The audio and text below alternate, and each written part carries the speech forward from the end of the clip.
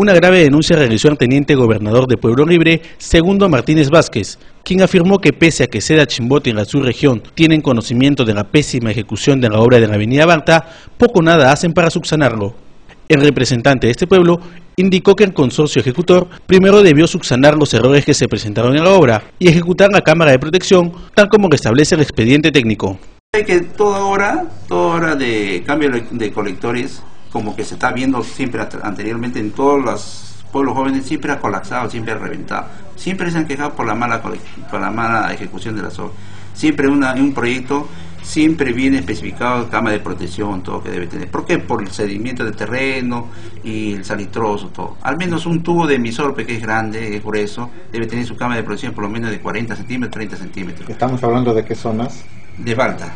Balta. Balta, avenida Balta. Entonces, acá, a raíz de estas pruebas que representa la región, a la región y a Seda Chimbote, que no hacen nada y tampoco no me comunican nada, solamente me comunican con la observación del, del de la supervisión, dice, no puede, dice... De igual forma, Segundo Martínez lamentó que el representante de la obra nunca se encuentre disponible, pese a aparecer en algunas portadas. Además denunció que pese a que la subregión conoce esta denuncia, callan por temor a represalias comprueba, ¿Qué les han dicho ellos? ellos? dicen, eh, lo que me dicen es por la contestación de la supervisión, que no lo van a valorizar, pero ya está ejecutado, está puesto, y lo están pavimentando. Ese es el problema, deberían haber hecho que corregir los errores primeramente y después ejecutar la pavimentación. ¿Me deja entender?